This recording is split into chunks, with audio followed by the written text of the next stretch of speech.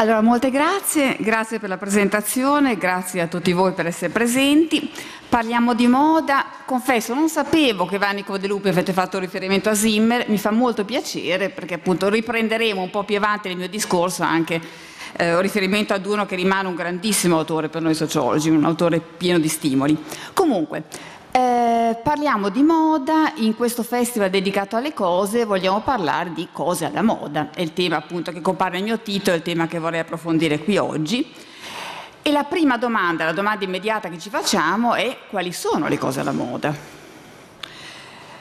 Di cosa si tratta? Chi riguardano le cose alla moda? Chi è che è coinvolto dalla moda, dalle sue cose, dai suoi fenomeni? E questi interrogativi veramente di base, fondamentali, ci portano già ad incontrare il primo fondamentale fraintendimento che spesso tendiamo, in cui tendiamo a incorrere quando parliamo della moda. La moda, come vedremo, è un tema molto complesso, molto articolato, un tema che coinvolge delle questioni teoriche estremamente delicate ed estremamente raffinate, per cui a mio parere è stata una scelta degli organizzatori includere il tema della moda nel Festival della Filosofia, ma io la trovo una scelta molto azzeccata, molto indovinata, perché come vedremo la, la moda è un, un tema teoricamente, filosoficamente estremamente complesso. Però questo non è quello che di solito pensiamo. Il primo fraintendimento, vediamo, rispetto al tema della moda, è che noi tendiamo a ritenere la moda un tema marginale, un tema tutto sommato abbastanza secondario.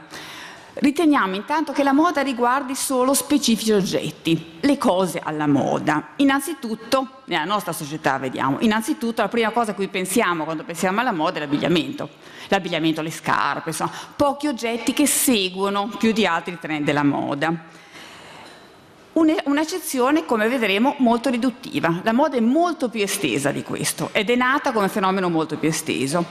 Quindi noi tendiamo a ritenere che la moda riguardi solo specifici oggetti e solo poche persone. Solo le persone si interessano alla moda, solo le persone che seguono la moda in modo più o meno pedissequo. E anche questo, come vedremo, è sbagliato. L'idea che la moda riguarda alcuni mentre altri possono non averci a che fare. La moda non riguarda quelli che non si interessano specificamente della moda. Eh, perché questo implicherebbe un altro aspetto, che ci sono persone che possono non hanno a che fare con la moda e oggetti che non c'entrano. Ecco, questo è il primo fraintendimento che dovremmo eliminare. Non è vero. Non è affatto così. E questo adesso nella nostra società ci pensiamo poco, ma quando è nata la moda, perché la moda come vedremo non c'è sempre stata, questo aspetto è quello che ha attirato grandissima attenzione ed è stato studiato con moltissima enfasi e anche con molta preoccupazione, come vedremo. Quello che rende la moda un oggetto di grande interesse filosofico, come dicevo all'inizio, e anche un tema molto enigmatico, un tema veramente misterioso, è proprio quello che è emerso in modo drammatico, in modo preoccupante nel corso del XVII secolo, cioè del 1600. Si è visto in quel periodo che la moda non è limitata a pochi specifici oggetti, ma riguarda ogni cosa e la moda riguarda tutti. Per cui la prima risposta alla nostra domanda è che le cose alla moda sono tutte le cose e le persone coinvolte dalla moda siamo tutti noi, che lo vogliamo o meno, che ne siamo consapevoli o meno. I motivi per cui la moda oggi, diciamo qualche secolo dopo la sua comparsa, viene marginalizzata, viene quasi neutralizzata nel dibattito collettivo, sono motivi a cui dovremo studiare anche questi oggetti di grande interesse. Più avanti ne diremo qualcosa. La moda comunque, nell'accezione che vogliamo studiare qui, è un fenomeno estesissimo e inquietante. La moda è, come diceva Mallarmé, un po' dopo la sua nascita, insomma, però un altro autore che ha pensato intorno alla moda, è la dea delle apparenze. Una misteriosa divinità figlia di Saturno e del cambiamento, che ci rende tutti, come diceva la Bruyère, un autore che incontreremo spesso in questo discorso sulla moda, un autore che nel Seicento ha scritto delle cose veramente illuminanti, per noi anche eh, veramente curiose a proposito della moda. La moda appunto è questa divinità, figlia del cambiamento, che ci rende tutti folli instabili e che segnala, in un modo che in quel periodo veniva studiato con grandissimo interesse, il fascino e, e gli enigmi della società moderna. La moda di fatto ci insegna molte cose su, sulla società moderna, come diceva anche Cerulo nell'introduzione. sull'imperscrutabilità, sul mistero, sul fascino di questa forma di società che conosciamo già da, da, qualche secolo ma che ancora non abbiamo capito fino in fondo. E lo fa in un modo, e questa specificità della moda, apparentemente frivolo. La moda ci sembra una cosa da poco. E notiamo, proprio perché la moda ci appare così frivola, come vedremo è particolarmente efficace. È un vecchio meccanismo molto noto. Non ci badiamo, pensiamo che sia una cosa da poco, ci esponiamo alla moda senza difese, senza particolari preoccupazioni e la moda si insinua in poi tutti gli aspetti della nostra vita quotidiana. Non è detto che sia un male, è semplicemente un fenomeno di cui è interessante rendersi conto. Quindi le cose, cosa ci mostra la moda a proposito delle cose? Eh, le... Eh, intanto che il nostro rapporto con le cose, facendo riferimento proprio al tema del nostro festival, è più complesso di quello che sembra. Questo è una, uno dei primi eh, aspetti che dobbiamo considerare trattando della moda.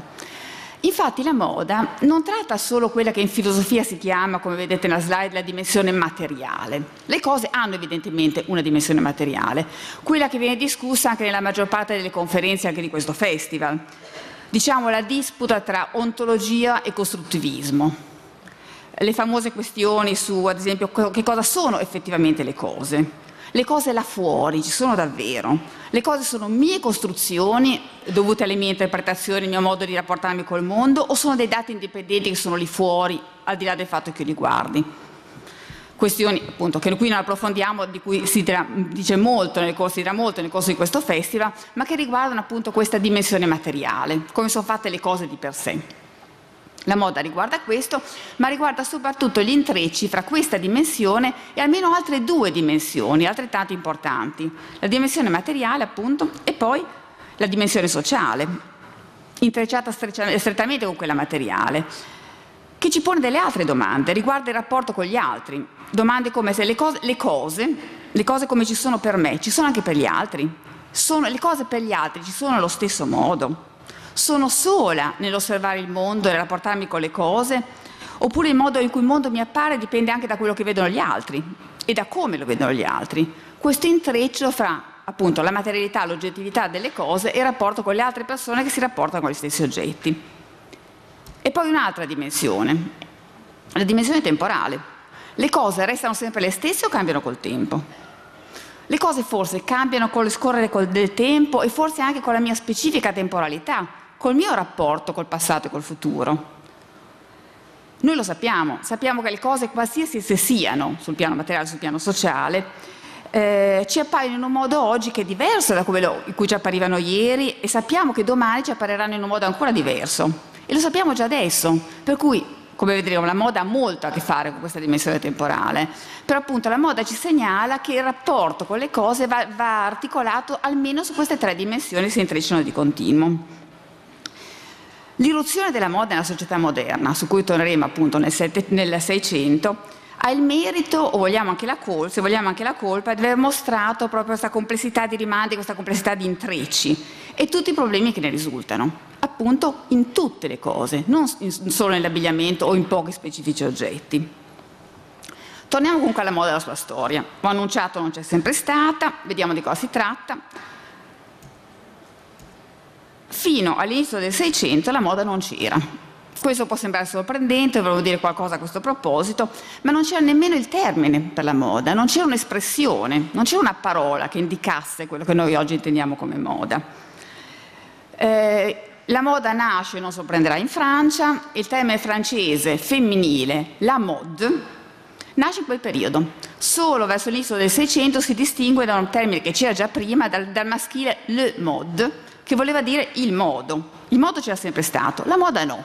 In quel periodo si comincia a parlare di moda al femminile come un oggetto specifico, come una particolare categoria che va analizzata, che va studiata. Mentre prima c'era il modo, e il modo ha tutta un'altra origine, ha a che fare con la teoria delle modalità.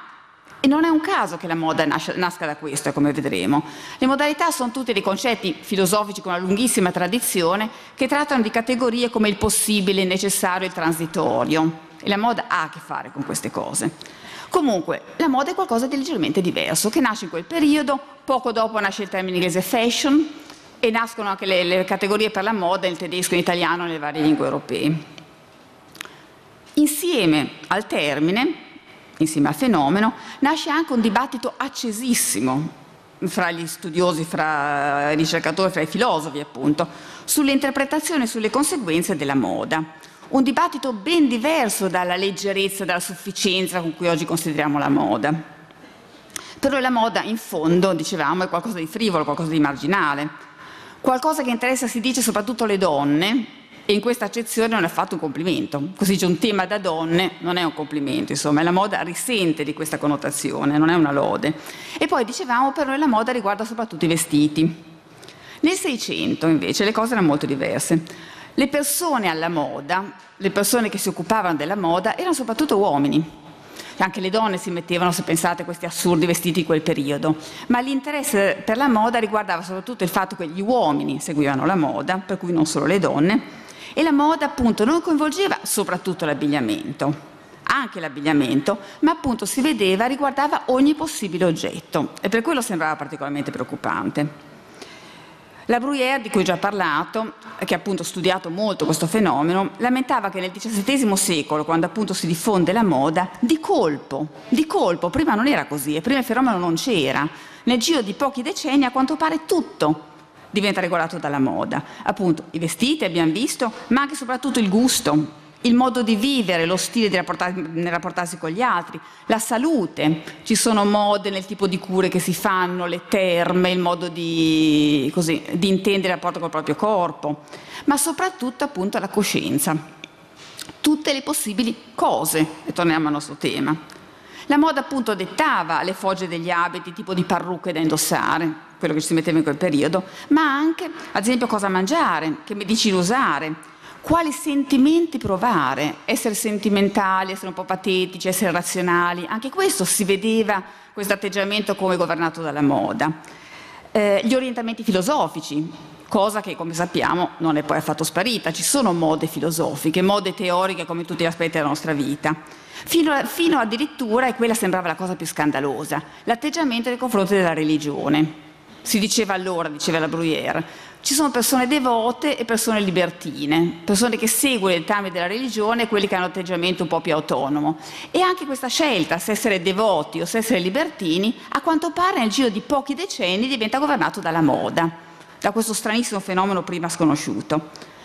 Quindi il tema era serissimo, era serissimo perché era incomprensibile, era esteso a tutti i possibili oggetti ed era estremamente preoccupante, non si capiva cosa stava succedendo. Infatti di moda in quel periodo si sono occupati tutti i migliori ingegni, i migliori pensatori del secolo, appunto la Bruyère, Pascal, Baldassare Gracian, La Rochefoucauld e anche nei secoli dopo Kant, Hegel. I grandi filosofi si sono occupati di questo tema, che poi negli ultimi tempi appunto è stato trattato altri, con altra rilevanza. Ma perché appunto? Perché è così importante? Cos'è che è emerso nel XVII e XVIII secolo per suscitare tutto questo interesse e, come vedremo, tanto allarme? La moda preoccupa moltissimo in quel periodo. Ecco, non certo l'attenzione per i vestiti. Quando io dico la moda è nata nel 600, 600 non dico la gente nel 600 comincia a badare a quello che si mette, perché ovvio l'attenzione per i vestiti c'è sempre stata e le fonti sono enormi, insomma. La frase l'abito fa l'uomo, non ancora il monaco, ma fa l'uomo, risale a Quintiliano, per cui molto molto prima. Quindi non solo si sapeva che la gente bada a quello che si mette, ma si sapeva anche che l'abbigliamento cambia, gli abiti, il modo di, di vestirsi e presentarsi con gli altri cambia col tempo. Tertulliano dice gli abiti cambiano come cambiano tutte le cose del mondo, per cui è inevitabile che anche l'abbigliamento ne risenta. Non solo, si sa anche che il nostro modo di cambiare l'abbigliamento dipende dal contesto in cui ci troviamo. Ad esempio, Baldassare Castiglione, che come sapete è stato un po' un precursore, non ancora della modernità, ma della vita di corte, della riflessione sul modo di rapportarsi con gli altri, tratta pure appunto di questo tipo di fenomeno, della necessità di seguire nel modo di presentarsi, nel modo di vestire, gli usi, le circostanze perché come dice lui, in un posto diverso, in un tempo diverso, le cose, e torniamo al nostro tema, ci sembrano più o meno comode o leggiadre e dobbiamo adattarci alle, alle circostanze, ai luoghi. È inutile rimanere sempre fissi sulle nostre abitudini, per cui l'abbigliamento conta, l'abbigliamento cambia e l'abbigliamento cambia a seconda delle circostanze. Questo era ben noto da secoli, ma tutto questo non è ancora la moda. La moda, in quel periodo appunto in modo rivoluzionario, introduce un modo completamente diverso di considerare i criteri con cui giudichiamo gli abiti e le cose. Anzi, cambia i criteri stessi con cui ci rapportiamo col mondo. Ecco a questo che si riferisce il titolo del mio intervento, in e out. Questa è la novità della moda. Perché la novità è il fatto che, dicevo, la moda cambia i criteri con cui ci rapportiamo con le cose, perché i criteri della moda non sono il bello e il brutto, l'opportuno, cosa che è comodo, conveniente, non conveniente, giusto, sbagliato, come in tutti i secoli precedenti. La moda, come sappiamo, non è bella, non è neanche comoda, non è neanche conveniente. Chi segue questi criteri, chi si veste comodo o chi si veste in modo conveniente, non segue la moda. La moda riguarda qualcos'altro. La moda è in oppure è out. Anzi, è in, una cosa è in, la seguiamo, sapendo benissimo che presto sarà out. Ma finché è di moda, vale lo stesso come orientamento. Una cosa è di moda, sappiamo che passerà di moda, ma finché è di moda, finché vale, ci piace davvero, ci piace e la seguiamo. Cioè il senso di ciò che è in rimanda inevitabilmente al lato out e non ha un lato significato. Noi sappiamo che le cose alla moda hanno preso il posto di altre cose che adesso sono uscite di moda. Ma sappiamo anche, e questo è l'aspetto che era più inquietante in quel periodo, sappiamo anche che quello che ora è in diventerà out quando altre cose abbrasseranno in. E questo accadrà molto presto, già domani. Chanel diceva che la moda è fatta per passare di moda. Questo appunto è il senso della moda. Il senso della moda è la transitorietà, il passaggio, il passaggio da in out. E questo è il cambiamento fondamentale quello che ha colpito e preoccupato enormemente gli osservatori del XVII secolo. Prima non era così. Gli autori, appunto Pascal, La Bruyère, così, si pongono, si pongono delle domande fondamentali sulla società e sul mondo. Si chiedono come sono cambiati il mondo e la società se le nostre scelte, le nostre preferenze, anche questioni fondamentali che riguardano la nostra coscienza, la religione, i nostri orientamenti rispetto al mondo, sono guidate da qualcosa che non è stabile, ma da qualcosa che cambia e che ha proprio come fondamento la pura transitorietà, cioè il passaggio da in out, in cui anzi, come vediamo costantemente nella nostra società, la stessa transitorietà diventa un valore. La moda passa e noi lo sappiamo, ma vale lo stesso e vale proprio per questo. Una moda che rimanesse sempre fissa non ci piacerebbe, la moda deve passare. Il fascino della moda si basa proprio su, su questo senso di transitorietà. Ecco, prima nelle società cosiddette tradizionali o quelle che Gabriel Tard, un altro studioso che ha parlato di moda, chiama le società l'età del costume, contrapposte all'età della moda come la nostra. Ecco, nelle società tradizionali le cose erano molto diverse. Una cosa piaceva perché era o si pensava che fosse bella, giusta, apprezzabile. Un vestito, ma anche appunto soprattutto gli orientamenti morali, gli orientamenti religiosi, venivano seguiti perché pensavo fossimo giusti e non si cambiava parere da un anno all'altro.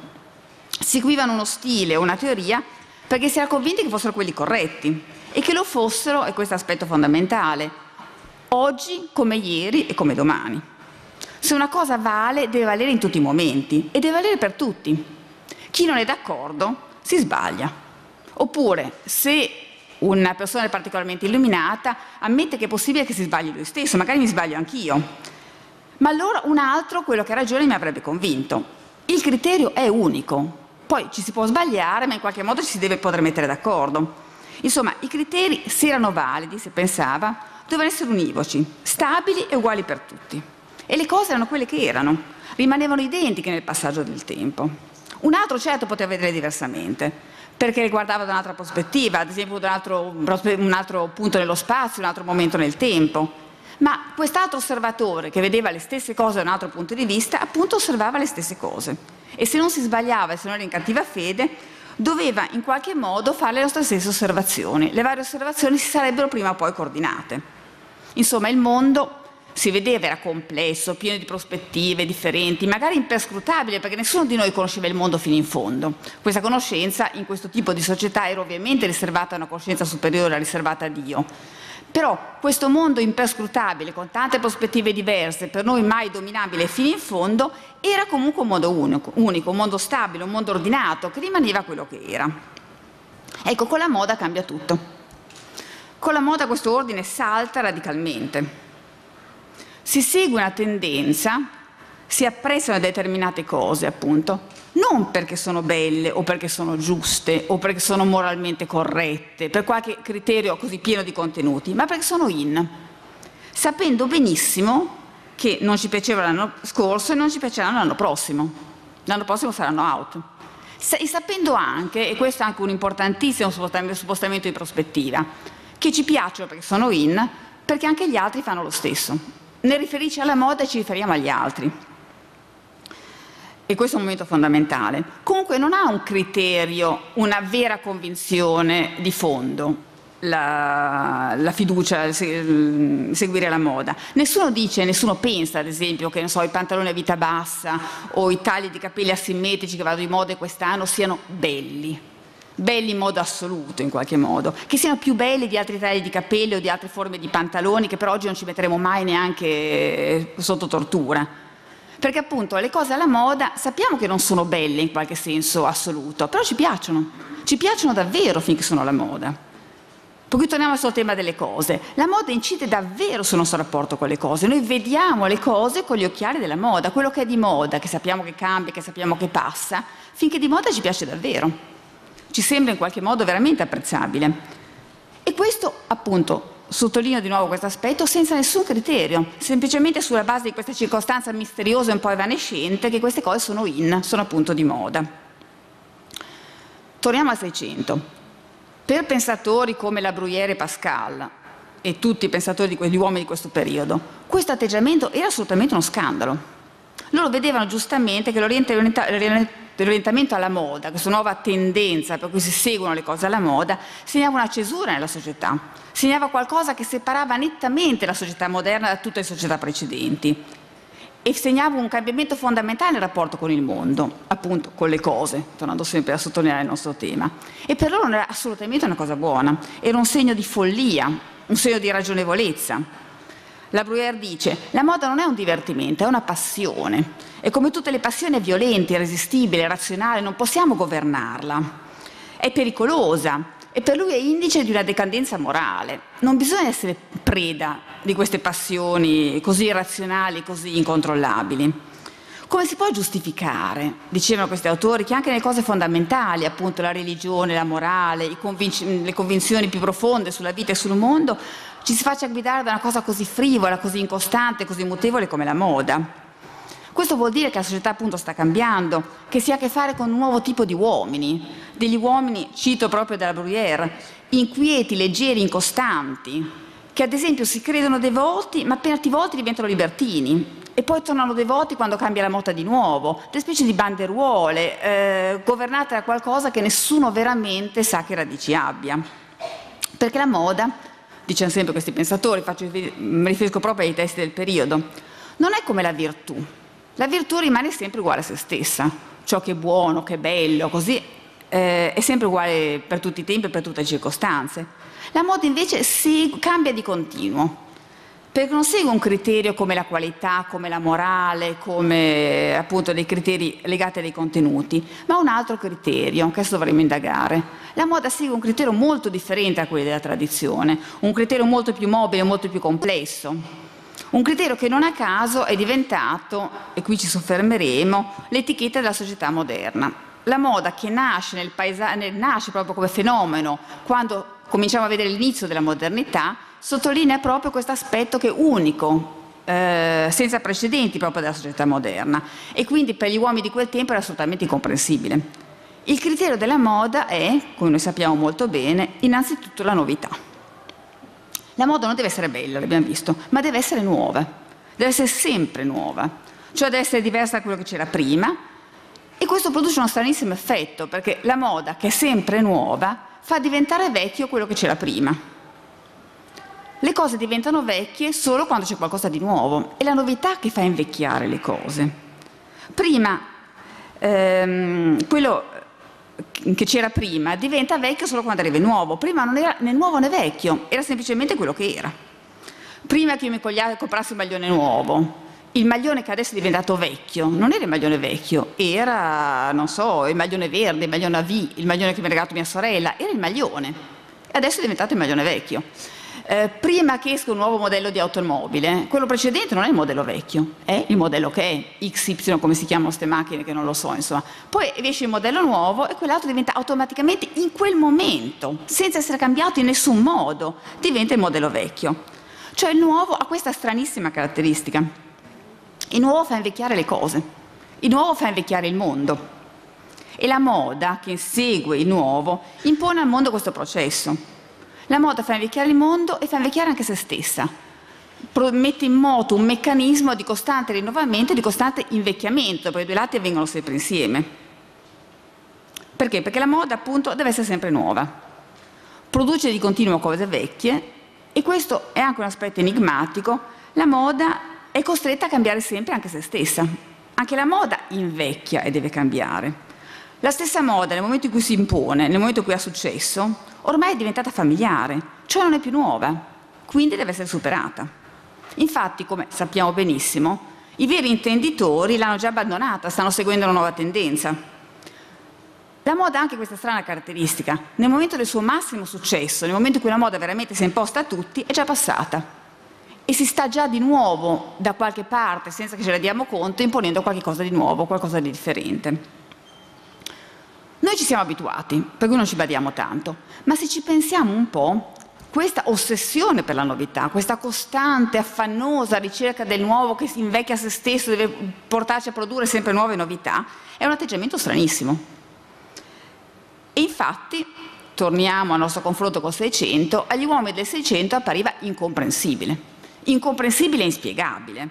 Avevano l'impressione, come si legge in tutti i loro scritti, che la società stesse andando per una deriva così veramente inspiegabile, perché in tutte le società precedenti, ad esempio nel mondo in cui erano vissuti questi autori del Seicento, il nuovo non era ritenuto qualcosa da ricercare, non era valorizzato. Nessuno pensava di andare a cercare la novità. Quello che contava, quello che valeva, non era certo il nuovo, perché il nuovo, se ci pensiamo, è veramente minaccioso. Una cosa nuova è appena arrivata, non la conosciamo, non è stata verificata, non è garantita, non l'abbiamo testata è appunto sconosciuta e ci presenta sempre le minacce di tutto quello che non conosciamo. Le società, società tradizionali non cercavano il nuovo, cercavano una cosa molto diversa, cercavano quello che era stato messo alla prova, che era stato consolidato dall'esperienza, dalla tradizione, dai testi sacri, dall'autorità che si sono appunto imposte nel corso dei secoli, ciò che si conosceva, a cui ci si poteva affidare, cioè il vecchio. Tutte le società tradizionali ricercavano come valore, ehm, come riferimento il vecchio, non certo il nuovo. Perché il nuovo quando compariva, qui parliamo di tutto il periodo fino appunto al 1600, il vecchio quando compare qualcosa di, compare qualcosa di nuovo è in primo luogo un disturbo, è un fastidio. Il, il, nuovo ci costringe a rivedere le forme e i criteri consolidati, dobbiamo fare diversamente da come siamo abituati, dobbiamo cambiare il modo di rapportarci con le cose, costa fatica, produce incertezza. Per cui in tutte queste società il nuovo veniva evitato si evitava il più possibile, che non è poi molto, perché il, non si, il nuovo non si può evitare del tutto, eh? lo si ignorava finché si poteva, lo, stigmati, lo si stigmatizzava come qualcosa di pericoloso, di minaccioso, di difficile, oppure se proprio non si poteva fare altro, lo si riconduceva a cose già note. Questo atteggiamento per cui si diceva, beh, sembra nuovo, ma in realtà è una variante di qualcosa che già conosciamo e di cui magari ci siamo dimenticati per cui anche quando si accettava il nuovo in qualche modo si riconosceva di non dover cambiare tutto, insomma lo si cercava di incapsulare in una forma meno pericolosa, meno dirompente, perché il nuovo ha una caratteristica effettivamente dirompente. E questo atteggiamento per cui quello che si ricerca è il vecchio e non il nuovo, e il nuovo si teme, è rimasto per moltissimo tempo. Anche Montaigne, e qui siamo già nella seconda metà del Cinquecento, per cui appena prima del diffondersi della moda, lo diceva esplicitamente. Cito da Montaigne. A me non piace la novità, qualsiasi aspetto abbia. E poi in ogni cosa, salvo soltanto nelle cattive, il mutamento è da temere. Cioè io posso accettare il mutamento, la novità, il cambiamento, semmai nelle cose cattive, che tanto sono già cattive. ma nelle cose buone, consolidate, in cui mi fido, il nuovo è una cosa da evitare il più possibile. A me non piace la novità, comunque essa appaia. Ecco, qui siamo alla fine del Cinquecento. Nel Seicento cambia tutto. Improvvisamente, immaginate lo sconcerto degli uomini di quel periodo. Nel giro di pochi decenni l'atteggiamento cambia completamente e diventa quello che è rimasto dopo secoli il nostro atteggiamento, che anche questo richiede una certa spiegazione. Ora, nel Seicento, improvvisamente il nuovo piace. Il nuovo che veniva evitato adesso piace. Piace e viene ricercato in tutti gli aspetti della vita. Un'impostazione radicalmente diversa che diventa, come dicevo prima, proprio la caratteristica, la cifra distintiva della società moderna, la società in cui viviamo noi ancora adesso. Quella società moderna che si stava imponendo proprio in quel periodo. Infatti non a caso il termine tedesco per dire moderno è Neuzeit, che letteralmente vuol dire tempo nuovo o tempo del nuovo. L'età moderna è l'età del nuovo, è il tempo del, in cui si ricerca, si valorizza, si comincia ad apprezzare la novità. E questo distingue proprio la società moderna da tutte le società precedenti. E società precedenti che ora, in questo momento, solo in questo momento, diventano quelle che noi chiamiamo le società tradizionali, cioè le società che accettano, che apprezzano, che perpetuano la tradizione. Adesso si fa diversamente. E anche qui è lo stesso meccanismo. Le società tradizionali diventano tradizionali quando viene fuori una società moderna. Prima era semplicemente quello che c'era, quello che si è sempre fatto fino a questa stranezza del Seicento per cui si ricerca il nuovo. Prima si, ricercava la tradizione, per cui non veniva definita da questo, era semplicemente il modo di stare al mondo. E così con la modernità si comincia ad avere questo stranissimo, apparentemente inspiegabile atteggiamento. Uno scandalo. Uno scandalo il fatto che il nuovo piaccia e uno scandalo ancora maggiore perché non solo il nuovo piace, ma piace in un modo pervasivo.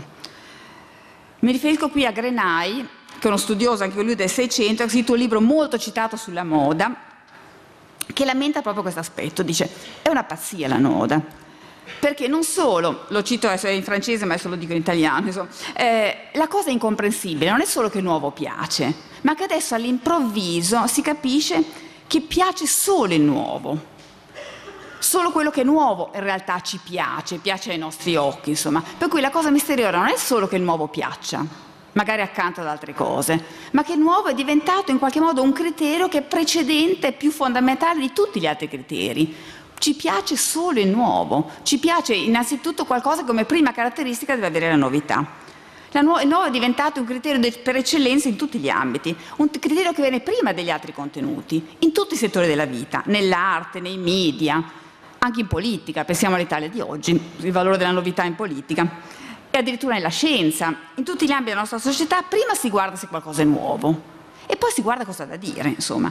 Una cosa piace innanzitutto se è nuova e poi si va a vedere se è fatta bene, se può interessare e così via. È come se il nuovo fosse un filtro che ci consente di considerare tutti gli aspetti della vita. Se ci pensate, provate ancora una volta penso sia l'ultima, mettersi nella prospettiva di persone, mm, persone che venivano da società diverse come nel Seicento, questa sembrava un'assoluta pazzia. Perché appunto il nuovo, che criterio è questo nuovo che è diventato il criterio fondamentale nel rapporto con le cose? È un criterio non criterio? È un criterio vuoto, perché il nuovo non ci dice niente. Se ci pensate, se diciamo che una cosa è nuova, non sappiamo niente di questa cosa, sappiamo solo che è diversa da quello che c'era prima è diversa da tutto quello che ci è familiare, ma non che sia buona, che sia utile, che sia conveniente, che sia interessante, niente, sappiamo solo che è nuova. E chi ci garantisce che il nuovo di per sé sia migliore da quello che c'era prima? Non lo sappiamo. In realtà se pensate alla moda non lo pensiamo nemmeno. Non pensiamo che una cosa nuova sia necessariamente migliore. Ciò nonostante è la caratteristica fondamentale. Nel caso della moda il punto non è che una cosa sia buona, migliore o giusta, il nuovo in un certo senso giustifica se stesso, se una cosa è nuova già di per sé va presa in considerazione. Adesso, non, è chiaro che i riferimenti a molti aspetti della nostra società si potrebbero moltiplicare, ma rimaniamo alla moda. Ecco la moda, che radicalizza appunto questa ricerca del, del nuovo, mostra nel modo più chiaro che stranissima dinamica si è messa in moto. Perché la moda, appunto, l'abbiamo visto, non deve essere bella, ma deve essere diversa diversa da quello che c'era prima, quindi nuova, quindi deviante, quindi sempre tendenzialmente provocatoria. quello che vediamo anche nell'abbigliamento, nella moda, nella vita di tutti i giorni. Le forme della moda diventano sempre più estreme. La moda è nuova, deve rinnovarsi di continuo, per cui cerchiamo sempre una nuova novità, che però per essere ancora nuova deve essere sempre più radicale, sempre più sorprendente, perché le altre forme sono già state usate in precedenza. Per cui ricerchiamo sempre un nuovo più nuovo, finché alla fine l'atteggiamento nei confronti della novità stessa si capovolge. Se tutti cercano sempre il nuovo, la ricerca della novità alla fine, pensateci, nella nostra società lo sperimentiamo di continuo, la ricerca della novità non è più sorprendente. Se tutti cercano il nuovo, non è più nuovo cercare il nuovo. La provocazione diventa prevedibile.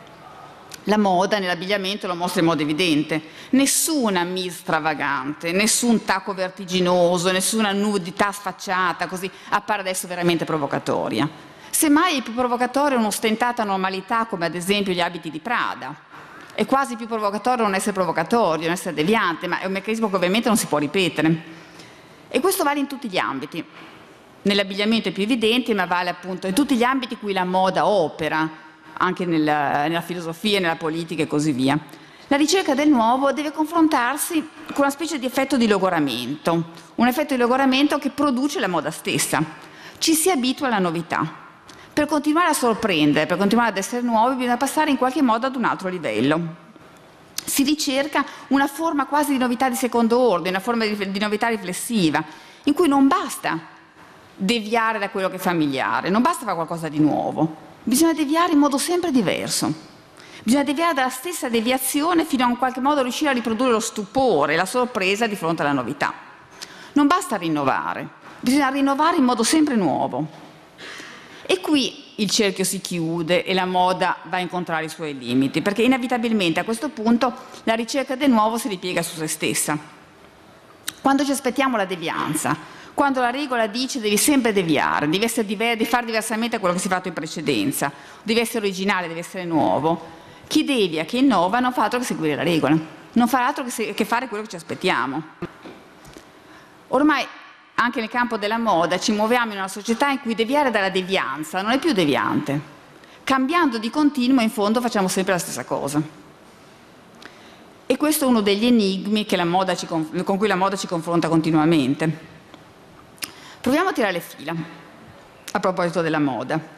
La moda, dicevamo, è comparsa come un fenomeno scandaloso, un fenomeno molto complesso che appunto irrompe nella società tradizionale rivoluzionando tutti gli orientamenti e provocando grande allarme, grande sconcerto.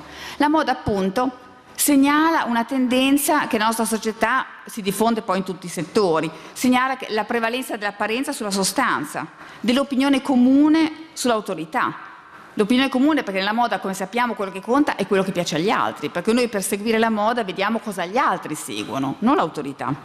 Della transitorietà sulla stabilità. La moda annuncia un ordine sociale che è radicalmente differente da quello della tradizione e lo fa in questo modo incidendo sulle piccole scelte, le grandi scelte quotidiane, sul rapporto con tutti gli oggetti del mondo e con tutte le cose. Come fa a funzionare? Come può funzionare un fenomeno così strano? Come funziona la moda? E questo è l'ultimo passaggio che vorremmo fare trattando il nostro tema. Intanto, la moda viene seguita non nonostante cambi. Non è che dico seguo la moda anche nonostante se cambi. La moda è seguita proprio perché cambia. Un oggetto che rimane sempre uguale a se stesso non può essere una cosa alla moda. Al massimo sarà un classico. Anche quando si recupera la moda del passato, il vintage come va di moda adesso, oppure lo stile degli anni 70, se ci pensate lo si fa sempre in un modo rinnovato. Per essere alla moda bisogna segnalare che non si è sempre vestiti così, cioè che sta seguendo la moda. Ad esempio mia figlia, che ha 15 anni, si veste più o meno come vestivo io alla sua età perché la moda è tornata a recuperare le forme del, degli anni in cui io avevo la sua età, insomma. Ma io non sarei alla moda se avessi continuato a vestirmi per decenni a vestirmi allo stesso modo, se avessi continuato a mettermi le stesse cose. La moda deve cambiare, la moda cambia sempre, noi lo sappiamo. Ce lo possiamo aspettare, ci contiamo, contiamo sul fatto che la moda cambi. E questo porta ancora una volta a un curioso paradosso, una stranezza della moda. La moda ha fatto del cambiamento, di questo continuo mutamento, una specie di principio stabile. Ci possiamo contare. In questo mondo in cui tutto si trasforma di continuo, potremmo dire che l'unica cosa su cui possiamo contare, l'unica cosa che non cambia è proprio il cambiamento. Nell'età della moda, nei periodi come il nostro in cui la moda governa il rapporto con le cose, il cambiamento si potrebbe dire è l'unica stabilità che ci rimane. Una specie di istituzionalizzazione dell'effimero, una forma di Gilles Lipovetsky che ha studiato la moda proprio dal punto di vista di questa sua evanescenza, di questa transitorietà. Il cambiamento nella nostra società è diventato l'unica costante, l'unica cosa che rimane sempre la stessa.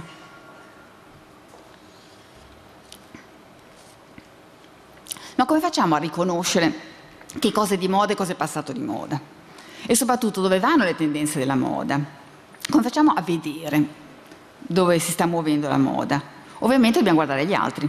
La moda è un fenomeno, lo dicevamo all'inizio, non basta dimensione materiale, non basta dimensione temporale, la moda è un fenomeno inerentemente sociale, cioè nessuno la moda da solo.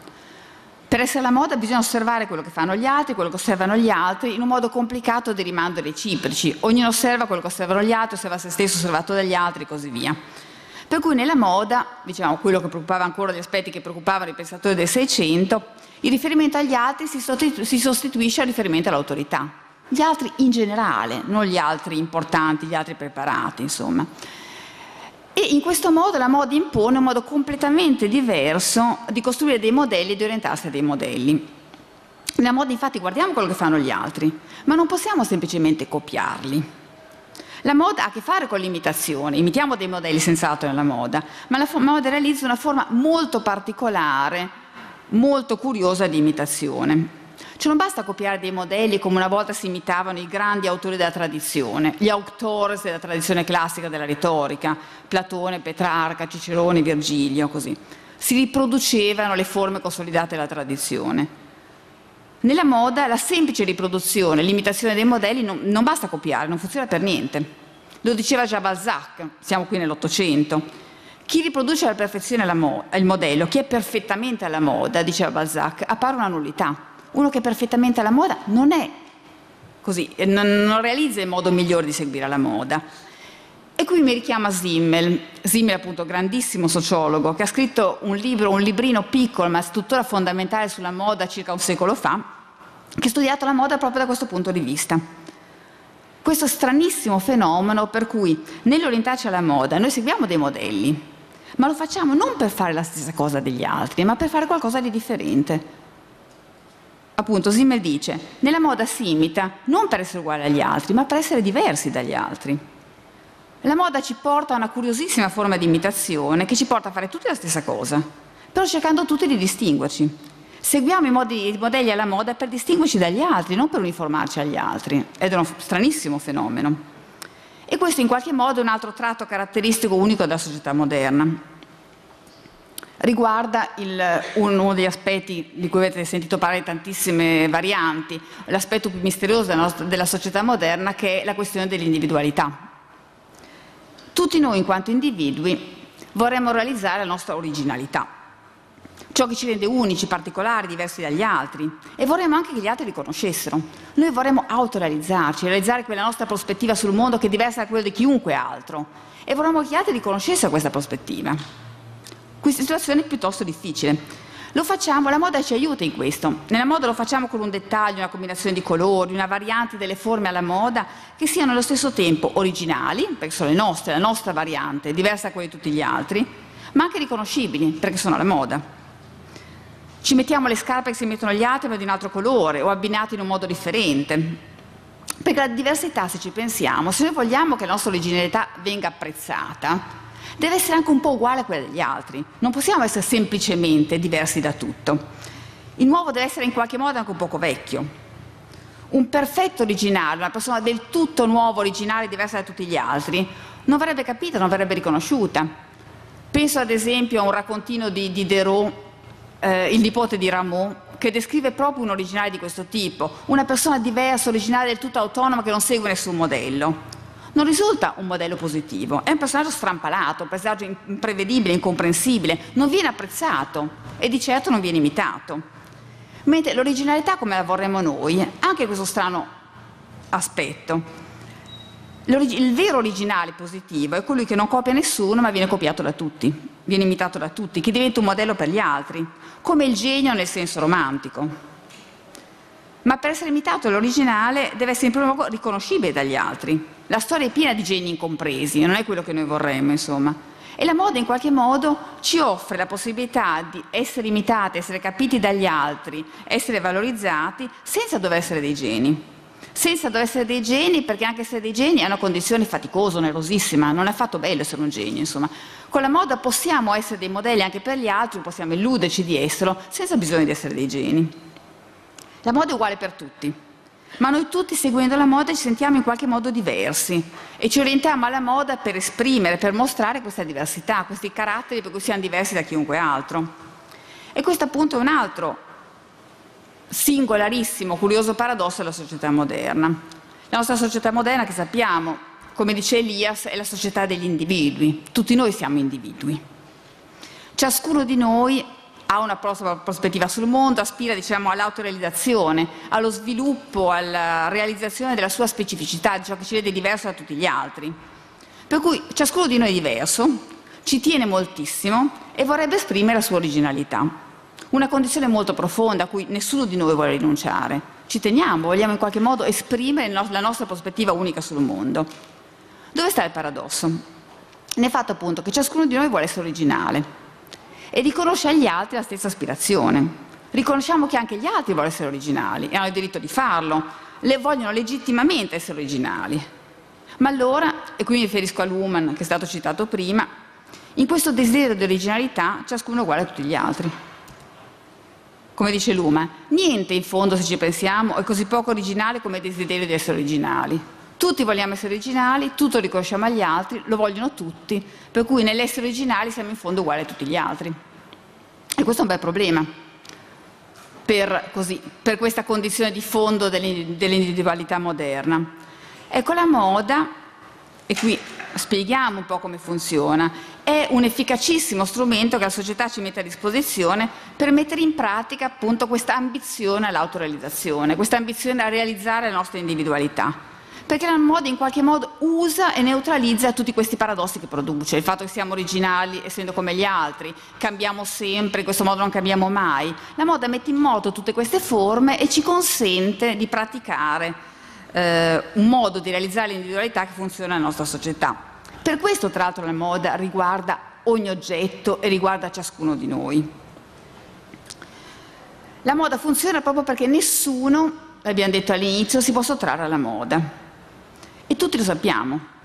Cito per l'ultima volta la Bruyère, lui dice chi rifugge dalla moda è tanto debole quanto chi la segue. Ci vuole tanta debolezza per eh, sfuggire dalla moda che per seguirla.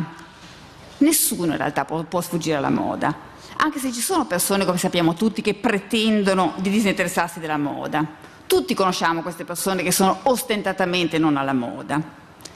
Ma se andiamo a vedere per bene si scopre subito che questa pretesa di non essere alla moda richiede moltissima attenzione, richiede molta fatica, richiede tutto il contrario del disinteresse che, vorrebbe, che vorrebbe, dovrebbe starci dietro.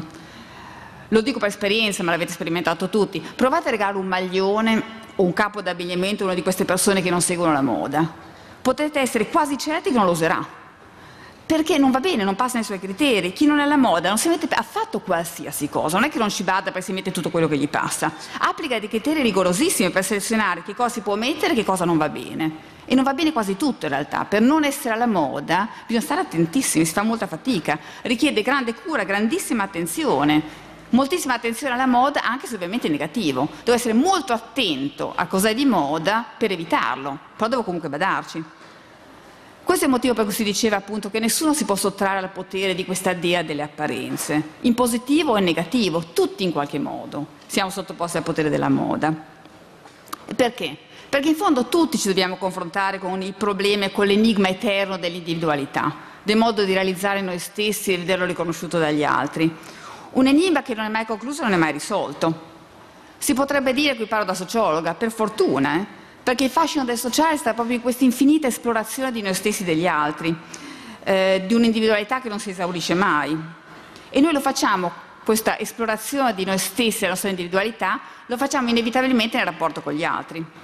Questo è un tema di un altro grande sociologo, Erving Hoffman, che mm, tutti voi conoscerete, che ha studiato proprio questi aspetti, come noi riconosciamo chi siamo nel vedere come siamo osservati negli occhi degli altri.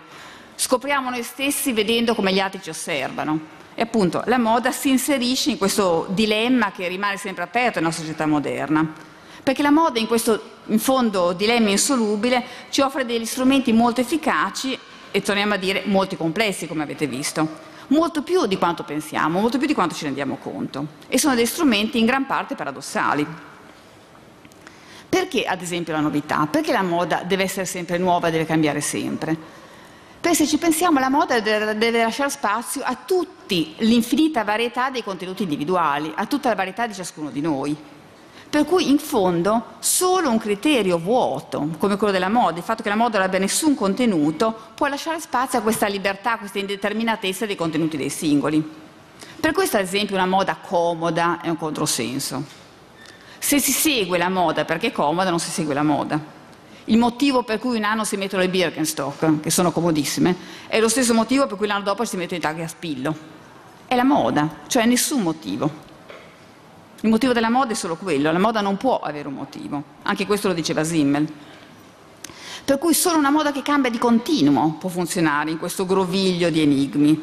Perché solo questa moda che si rinnova senza, senza pausa ci consente di andare avanti in questa ricerca senza scontrarci con il paradosso fondamentale il paradosso dell'originalità, del fatto che in fondo siamo uguali a tutti gli altri volendo essere diversi. La moda cambiando di continuo ci consente di non renderci conto che seguiamo la moda come tutti gli altri per essere diversi da loro. Perché? E questo è l'ultimissimo passaggio. Perché finché la moda è nuova noi non vediamo che siamo in fondo tutti uguali. La moda è diversa, è originale, le sue forme sono diverse da quelle che conosciamo prima, sono sempre sorprendenti, per cui non notiamo che in fondo siamo tutti uguali. Quando iniziamo a renderci conto dell'uniformità della moda, a vedere che la nostra originalità è uguale all'originalità uguale e parallela di tutti gli altri, e che in fondo siamo tutti vestiti nello stesso modo, anzi appena un po' prima di questo, la moda è già cambiata. Quando noi cominciamo a renderci conto di questa uniformità, la moda già ci presenta delle nuove novità, una nuova sfida, in cui di nuovo possiamo confrontarci con gli altri, con noi stessi e cercare la nostra specifica, unica forma di autorealizzazione. Per questo, per questo incrocio di temporalità, di individualità, di riferimento alla società, la moda è un fenomeno così fondamentale, così complesso e così legato al senso della società moderna. La moda in fondo riflette ed alimenta la complessità della società moderna e non a caso è nata solo nella società moderna. Solo nel Seicento poteva nascere un fenomeno del genere. Le società precedenti, come dire, non avevano la complessità per reggere questa stranissima costruzione, ma non avevano neanche bisogno, non avevano il problema che noi dobbiamo affrontare con queste, queste forme così improbabili. Oggi il rapporto con, mon- con, il mondo o con le cose, che torno a dire sono il nostro tema, si gioca sempre su più dimensioni, appunto queste dimensioni che abbiamo visto che si intrecciano, si condizionano l'una con l'altra. Un mondo appunto che cambia di continuo in cui non siamo mai soli, ma un mondo che non può mai essere raggiunto, non può mai neanche essere conosciuto in un modo definitivo. E proprio per questo, perché cambia sempre, perché si articola sempre, perché è un mondo condiviso con gli altri che non possiamo conoscere, è un mondo, a mio parere, infinitamente affascinante sempre, sempre appunto un orizzonte aperto di esplorazione, come diceva Husserl, ma probabilmente sempre la forma di un paradosso. E qui torniamo al nostro tema, le cose della moda. Le cose della moda sono in fondo le cose di un mondo che è sempre da scoprire, insieme agli altri, perché la moda non siamo mai da soli, ma anche sempre diversi da loro, perché ciascuno di noi, di noi nel seguire la moda segue in fondo, ricerca in fondo sempre se stesso. Grazie.